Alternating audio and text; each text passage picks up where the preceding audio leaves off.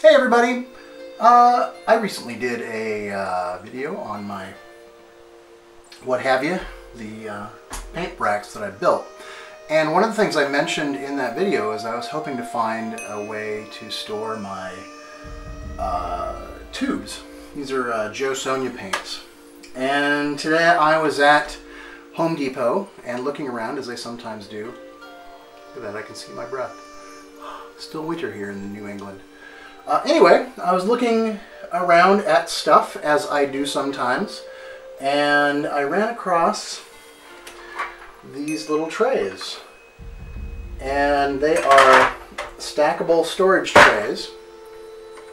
They are buck each, one dollar each. Uh, you can stack them as high as you like, and I wasn't sure exactly what I was going to use them for, although I thought they might work for my uh, for my tube paints.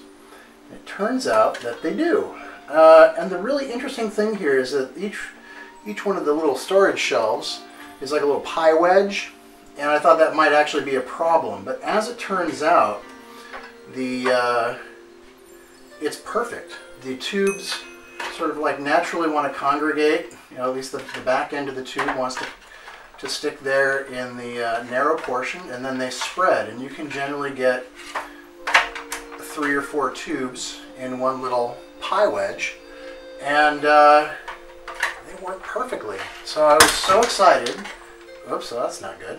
I was so excited that I had to do a video and share this with you and I don't know if these are available uh, at all the DIY stores around but uh, my local Home Depot had them today. And again, they were a dollar each. So this stack of four, four bucks. Uh, you can't really beat that in terms of paint storage. If I have any complaint at all about this, and really for a dollar, uh, I'm not going to complain that much, but uh, it's that there's no there's no way to make the bottom tray uh, easily rotate. You know what?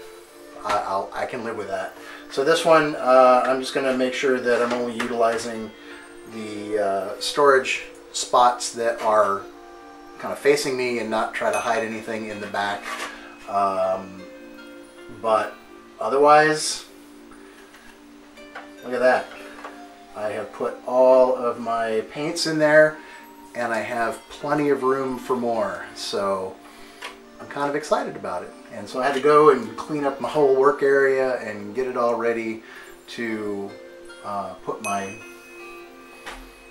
put my paints in and have a new home for them. So hopefully you found this useful and perhaps you can do this as well. If you actually have another uh, solution for storing your tube acrylics for uh, for easy handling and use, let me know. Uh, let me know in the comments down below, or let me know by sending me a video.